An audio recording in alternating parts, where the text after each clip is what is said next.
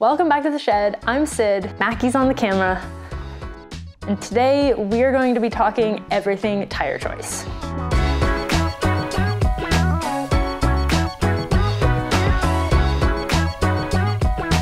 Okay, so quick disclaimer, we are Maxxis athletes. Maxxis is a sponsor of this channel.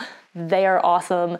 We will be using Maxxis tires as examples in this video. However, we are going to be talking big overarching principles of kind of how tires work and why tires, why tires are tires?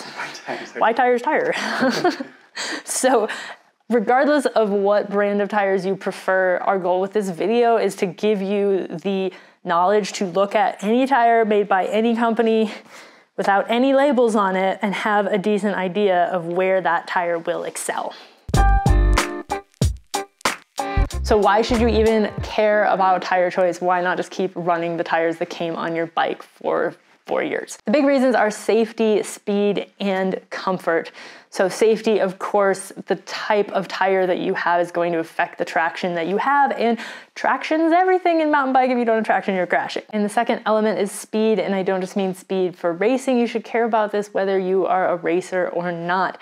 The rolling speed of your tire determines how you're gonna flow on the trail, whether you're gonna be able to carry the speed for the little jumps. And it also affects how much fun you're going to have we often see riders pushing really heavy, beefy tires up the hill. And while that may give them confidence in specific situations going downhill, it may just make mountain biking kind of discouraging and not fun because it's just too much tire. I'd say so many people are this overtired. This is really common. I mean, some people are aware that they're doing that. That's true. and they're doing that for reasons that we're going to discuss later. And then some people are on the bike that say their spouse put them on and was like, you need this for going downhill, and maybe they don't.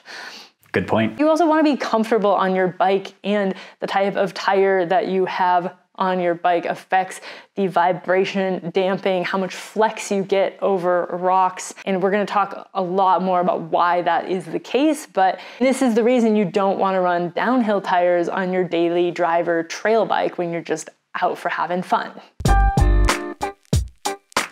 In this video, we're gonna talk about the three components of tires, the casing and bead, the tread, and the compound. And then we are gonna give you some real life examples of why we choose certain tires for certain events. First of all, the bead of your tire, I'm sure everyone has probably heard this term, but it is this part around here. And there are two types of beads that we see in modern mountain bike tires. We have wire bead. We don't actually have any wire beads to show you. Wire beads are typically for super, super strong downhill tires. They're also a little bit cheaper to manufacture, so you might see these on commuter bikes. I wouldn't be surprised if we start seeing more wire bead tires on e-bikes as e-bikes become more popular because wire bead tires are much, much stronger. However, they are also much heavier. So on an e-bike, you don't care, but on a modern mountain bike, almost all of us are running foldable tires. So that's the other type of bead is foldable. And evidently, I am surrounded by foldable tires because wire beads don't fold. So that's your clue. If you've bought a tire like this, you have bought a foldable bead tire. So the casing is what is between the beads underneath the rubber. So your bead and your casing are essentially the skeleton of your tire. And then that rubber gets put on top of it, and then it gets put in a mold, and the tread appears magically. magically.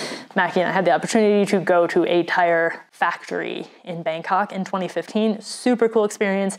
I don't know how I thought tires were made before, but it wasn't like that. So maybe I blew someone else's mind there too. Okay, so the casing is here. Will you show over there? So this is just a, a gravel tire. So it's a much thinner casing, but you can actually see the threads. So basically it's like a layer of fabric coated in rubber. So tire casings use TPI so thread count, essentially like a sheet, but threads per inch in this case to basically tell you how, well, to tell you how many threads are in there, which tells you how strong the tire is. I will fully admit that I had this backwards until about a year and a half ago. I always just assumed that higher thread count meant more threads, so therefore more stronger. Incorrect. A higher thread count is actually going to be a less strong casing because while there are more threads, each thread is thinner and there's less room for the rubber to get between the threads in a higher thread count. So as you can see, this Aspen is 120 TPI. So Maxxis typically has 60 or 120 P TPI. We are not done with casing there. You might be like, okay, cool, I get that, we're good. Not quite. There's also single and dual ply casings, and that just means how many fabric layers there are. If you have a tire from Maxxis that is the EXO or EXO casing, that is a single ply casing. The EXO Plus, which got over here, is the single ply with a butyl insert. And that is mostly that insert is around the bead, correct? Yeah, so there's plastic butyl uh, insert here, and it provides additional protection. So if you do pinch the tire so that it hits the rim, it will provide a little protection for both the rim and the tire to decrease the likelihood of pinch flatting. The EXO Plus is only a 60 TPI, so that's why it doesn't have the TPI written anywhere on it whereas the EXO comes in a, both a 120 and a 60. If you're like, why would I ever want a 120 if it's lightweight? That's definitely a cross country tire. It's definitely more towards a race tire. I mean, we we actually have had, I would say, amazingly good luck with 120 TPI tires, but you are running a higher risk of flats with a 120 TPI tire than you are with the 60 TPI, than you are with an EXO Plus, which is the 60 TPI with the insert along the sidewall. So moving into the dual ply casings, Double Down is Maxxis's dual ply Enduro trail casing. So it is two layers of 120 TPI. In fact, it even says that 2 by 120 TPI right there. Whereas a full-on downhill tire, I think Maxxis calls it the DH casing, is dual ply as well, but is two layers of the 60 TPI. So you can imagine that two layers of 120 is going to be lighter than two layers of 60. So regardless of the brand, if you are looking to understand the weight and the flat protection of a tire, you're gonna wanna look for thread count, you're gonna wanna look on the tire manufacturer's website and figure out what their levels of casing are, like what's single ply, what's dual ply, what has an insert, etc. The other thing to note with Double Down is because they're 120, you get a more supple ride, so you get sure. better trail feedback. Yeah, so the more threads, the more, what's that, what's the word? Flexible? The more flexing you can get, basically. So that can, it has a really nice ride feel. The stiffer the casing you get, you do lose a little bit of that suppleness. Again, it's always a trade-off for flat protection versus suppleness versus, yes, weight. It also has a butyl insert, but it has a slightly bigger butyl insert than the EXO Plus. Than the EXO Plus. So basically, no insert, 60 or 120, always 60 with a butyl insert, 2 by 120 with a bigger butyl insert, and then the DH, which we don't have any of, are bigger butyl insert 2 by 60. I think I said all that right. Yeah. So hopefully now you are getting the picture of why there are so there's so much information on the tires that you want to buy. A lot of people want to, you know, they just want to get an Assegai. They don't want to have to think about all these other things. But once you kind of understand the principles behind it, it makes it a lot easier to understand what you're getting. I would also say that is the perfect segue into the next section. Yes, let's talk about tread.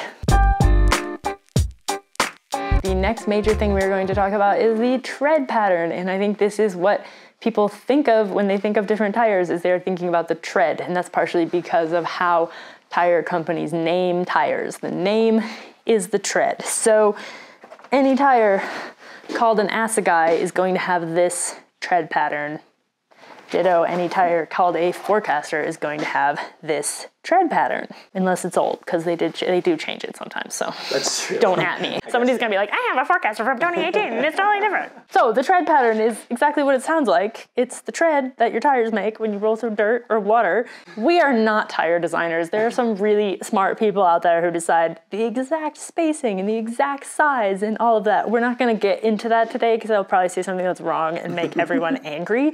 But I do think it's very possible for anyone to have sort of have a basic enough understanding of tread pattern that you can look at a tire and be like, okay, like I know what that's for, more or less. For the purpose of simplicity, we are going to compare two very different tires. We're gonna look at the tread patterns of the Assegai in the Aspen.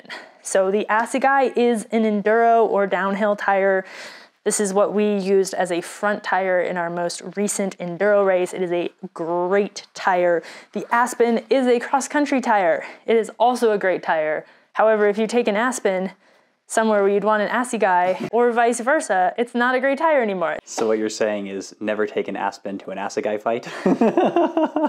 The first thing we are going to look at is the knobs, and there are a couple different elements to what is going on with the knobs. There's the height of the knobs, the spacing between the knobs, and just the general size of the knobs. This one's a big knob, big knob energy.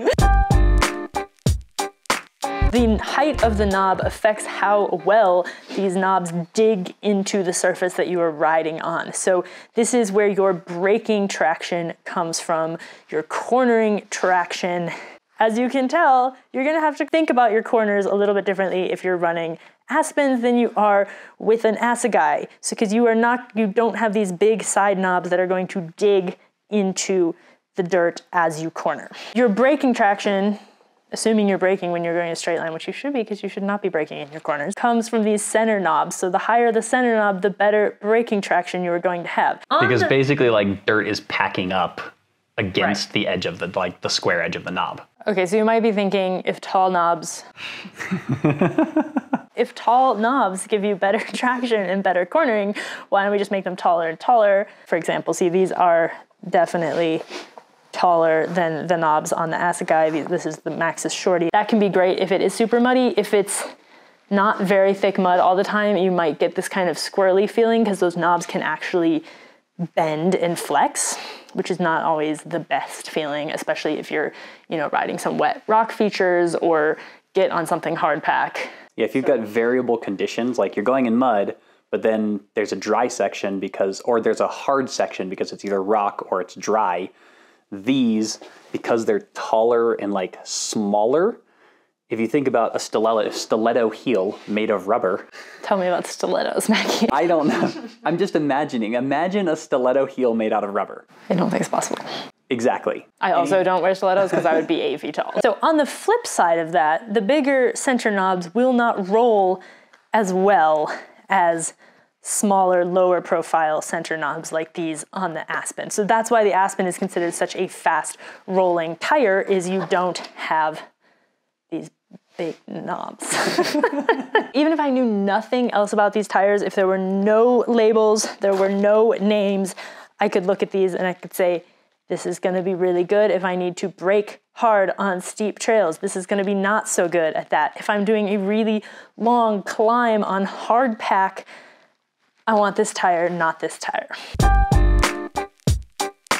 The next piece here is the space between the knobs. Knob spacing affects how well your tire clears mud. Shorty Cameo, which is essentially a mud tire, and you can tell why it's a mud tire in that there is a lot more space. There's a whole finger width in between these knobs where there's only a side finger width between these knobs. You're gonna have fairly decent brake and traction with both of these.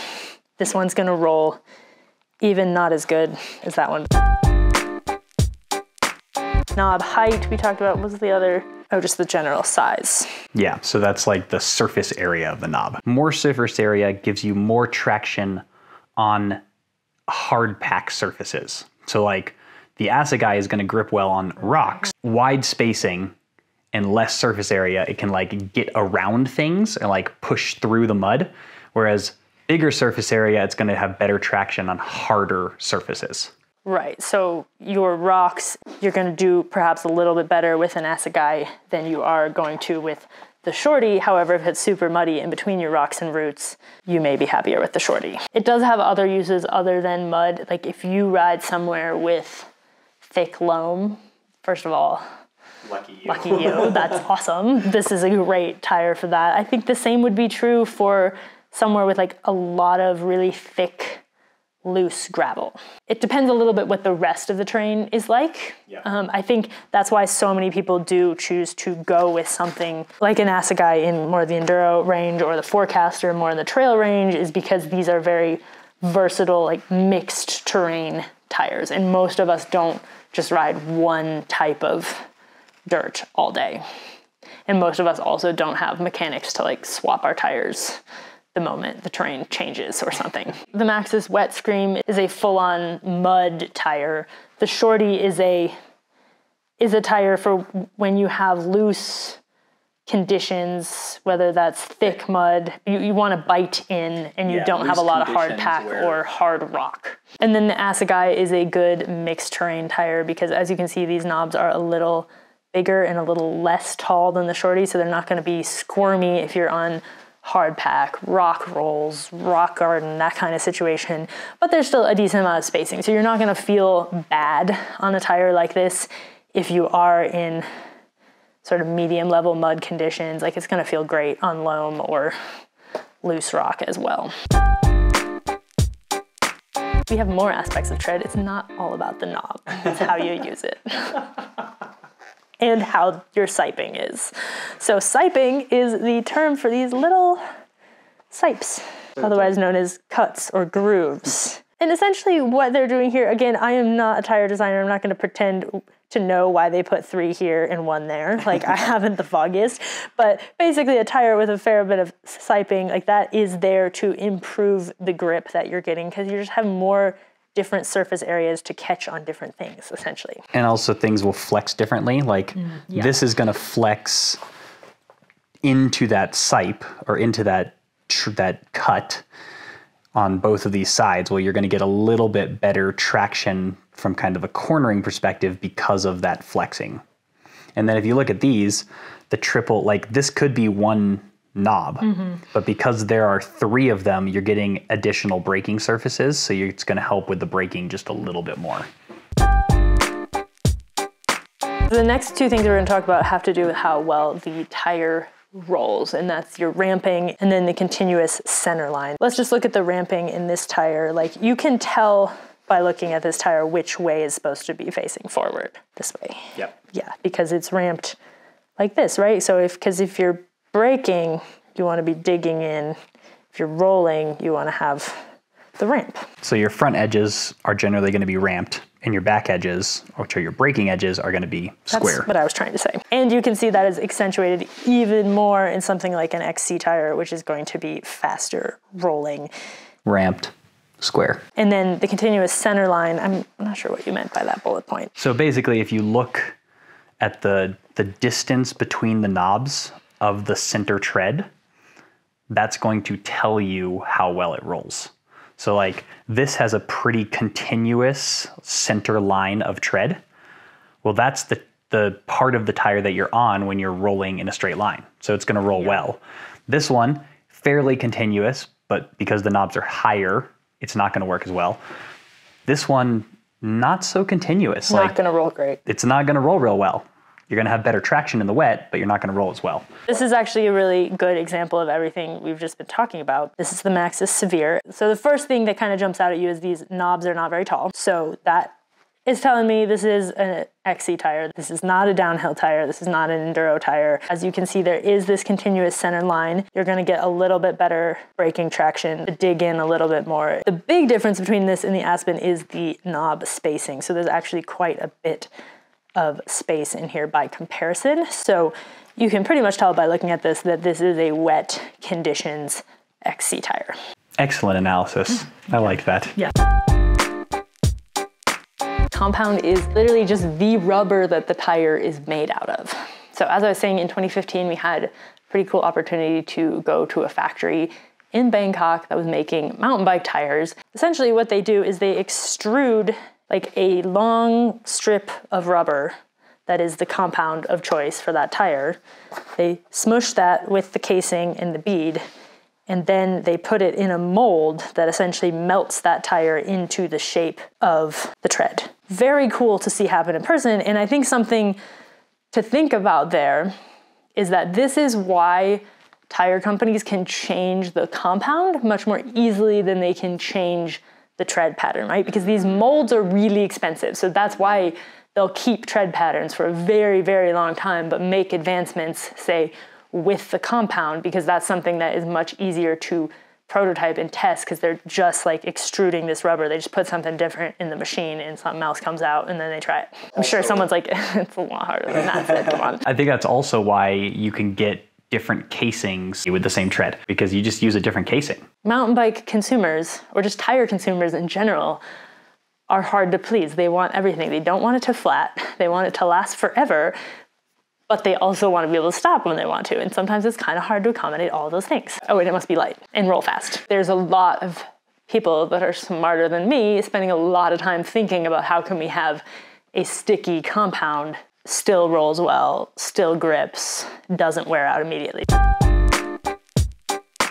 In an effort to please everyone, tire companies will put more than one compound into the rubber of a single tire, right? And so that's what we have with Maxxis's 3C. So this is the Assegai again, back for another appearance. This this is the MaxxGrip, which as you can imagine means it is going to be sticky and grippy. The 3C means there are three different compounds. Hardest rubber, essentially, so like the least sticky, least grippy is in this base, and that's just to provide stability for the whole situation. And so then your middle knobs have sort of a medium compound. It's going to be a stronger compound than what you have in the cornering knobs, and that's because we spend more time on these middle knobs. It's also where we break really hard, generally, hopefully. And then the cornering knobs are the softest, so the most grip, the most traction when you're in a corner. A lot of people have probably had the experience of having a tire where things do not wear evenly. It's a tire where the compound is the same for the whole, and you don't use your cornering knobs nearly as much as you use your center knobs, so your center knobs are gonna wear out. Also, I'll be honest, a lot of people don't know how to use their cornering knobs at all. So if you have the experience of you never wear out your cornering knobs, you don't need a different tire, you need to do some skills coaching. Shout out to Lee Likes Bikes for teaching us how to corner with our cornering knobs. So the next compound in the Maxxis line is the Max Terra. So this is a harder compound than the MaxxGrips. So it is going to roll a little bit better. It's gonna be a little less sticky. When people talk about like, oh, this tire doesn't roll well, it's sticky, that means they have, you know, they're pedaling a downhill tire uphill. We're big fans of the Forekaster. We're big fans of this sort of level of tire where you get good. I mean, here, look at it. Leave me a comment. Tell me what the Forekaster is going to ride like. Oh, nice. This is a great tire for a trail bike or a down country, down country bike. the point is, this is a tire for a bike that you're gonna be climbing, you're gonna be descending, you're not going to the bike park, you're not doing anything totally insane unless you're Mackie who did use this in an enduro race and won an enduro stage. MaxxTerra compound makes a lot of sense in like a trail tire. So the final tire, or final compound that we're gonna talk about here, we're gonna bring back the Aspen for an encore, and that is the MaxxSpeed, and this is the newest compound. You'll notice that it's missing the 3C.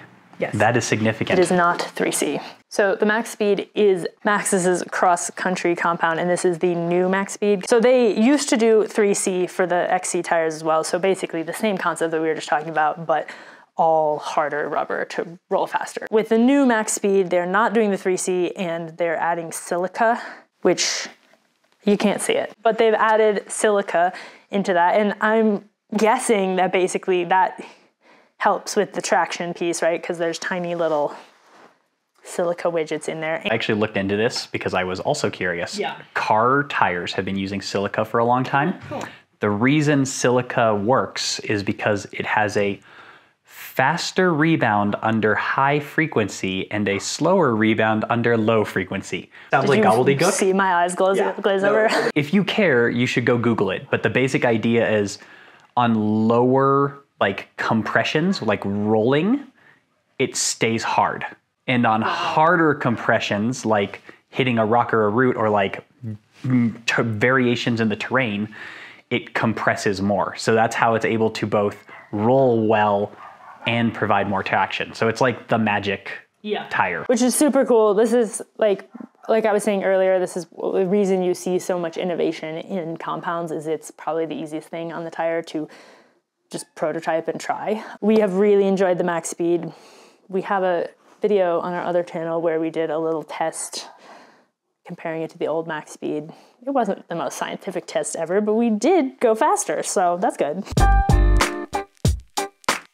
Okay, so now at this point we have gone over casing, bead, compound, tread, and you might be a little overwhelmed.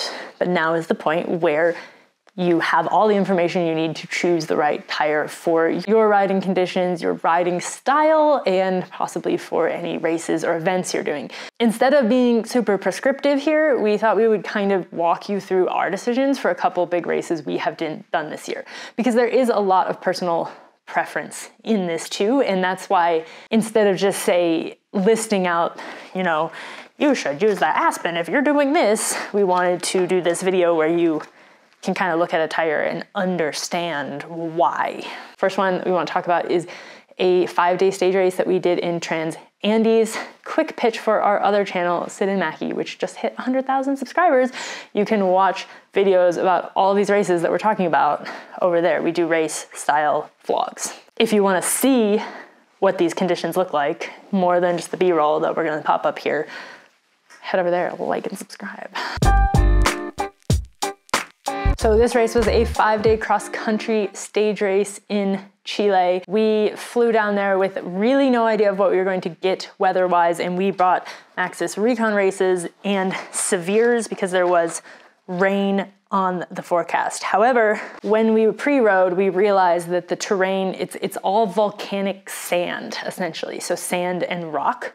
So we didn't feel like there was a huge need for the severe over the Rekon Race. As you can see, we didn't talk about the Rekon Race specifically earlier, but now you guys know by looking at this that this is an XC tire. It has a little more profile than the Aspen, so it's a little more aggressive, a little bit better braking, cornering, traction. These knobs are pretty darn close together, so it is not a mud tire at mm. all. So that's why we brought the Severes as well. However, we ended up using the Rekon Races. It rained quite a bit but I was still very happy with that decision because we never got mud. We did literally ride through a river for like an hour, but this was fine. Like we still had, you know, as much traction as you're going to have on an XC tire while riding through a river. The mud wasn't clumping to the tires. Exactly. It was just like, you know, it was just wet. It was just wet. Yeah. yeah. It was wet, wet, wet, wet, wet, wet, wet, wet, very wet. Which turns out the new MaxxSpeed compound is excellent in the wet. Better in the wet than the previous MaxxSpeed, right? Because yeah. it has that silica and is a little bit grippier.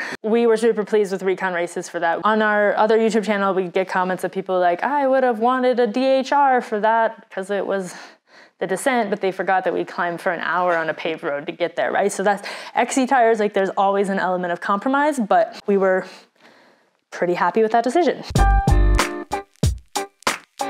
So the next event we want to talk about is the Revolution Enduro at Glorieta, which Mackie raced. I did not do this event, but I am going to talk about his tire choice. So he went with a Forekaster in the front and a Rekon in the back. This was considered a very light tire setup for this race. However, he had his reasons for doing this, and that was because the first stage was very pedally, very flat, but mostly very fast. And Mackey made the gamble that he could basically not flat the Forekaster because that was sort of the big concern there, and that you would have enough braking traction for the more downhilly stages, and that that stage was going to be the longest, and that was where the most time was to be had. So his tire choice was very personal for this event. It's not what really anyone else was running it was, I think, the best choice for him and his skill set because he was able to win that stage and bank some time. The other stages weren't as long and they weren't as much, you know, your style of riding, right? So that was the choice for that. So the, again, this is why we aren't being prescriptive here. We're not saying at Glorieta one must run a Forekaster. Like that's probably not the choice that most people would make. However, it made sense in a race environment and I think most people were running DHRs actually, like DHR Assegai. Yeah. But I was like, I'd rather be able to roll really fast that first stage, make as much time as possible, and then just take it a little easier on the next two or next whatever three, four, and and it, it worked. worked. You ended up on the podium, so which was your goal. The next event we want to talk about is Downieville Classic, which is a super interesting race for just gear choice in general because you have to ride the same bike for two days in a row for a long cross country race the first day and a very long downhill race the second day. I'm putting downhill in quotes because it isn't a traditional downhill race. There's still like 500 feet of climbing, but you drop 5,000. so it's definitely kind of an old style Super D, except it's not mass start. It is a time trial. Obviously, a lot goes into tire choice for that kind of an event, you're always taking some risks. So Mackie actually ran the Maxxis Aspens for this race, despite the fact that Downieville is a very, very rough descent. He went with these not because of anything to do with the terrain necessarily, but because of how competitive the race was. And he knew the race was going to be won or lost on the long, long road climb in that cross country. So again, he made a gamble, super fast rolling tire, allowed him to finish seventh in the cross country. And then, I mean, honestly, I'm like kind of amazed you didn't flat the Aspen in the downhill, but he did the downhill in 44 minutes, which, if you know Downieville, is really, really fast. And was sixth in the downhill and fifth in the overall. I did run inserts, which helped on the not flatting. So. That's a good point. Yeah, we uh, inserts. We're not talking about inserts today. I'm sorry. There's just too much. This video would be like an hour and a half long. If you were just going to ride the Downieville downhill, say if you did a shuttle, you would have made a different tire choice. You being Macky, but also most yes. people would. So what tires would you choose for just a shuttle of John Downieville? I think a Forekaster Rekon, like what I raced at Glorieta, would be a really nice It'd combo. Still be super fast, yeah, but you'd have a little more protection. You've got some nice cornering knobs, you've got more braking traction, but you still have that continuous center line, so it rolls well. I, I think that would be a really nice front tire at Downieville. Sometimes, and, the, and this is sort of just like a lesson in general for life and bikes, but like sometimes the most fun option is not the fastest option. So the last race we want to talk about is Trans Madeira, which is a five day enduro stage race in Madeira. Madeira is a little island off the coast of Northern Africa. We just came back from Madeira. It was an insane experience and very different riding than what we do here in the Rocky Mountain Southwest. So very different. Very different. So we traveled to Madeira on our bikes. We had Assegai front and DHR rear, a really tried and true classic enduro trail bike combo. Like we had ridden these in our bike park here. A lot of fun, very sticky, very confidence inspiring. We did them both in MaxxGrip double down. Yes, MaxxGrip double down. Exactly, because you have to think about all these things. That's the point of this video. We also brought with us double down MaxxGrip shorties in case it was muddy.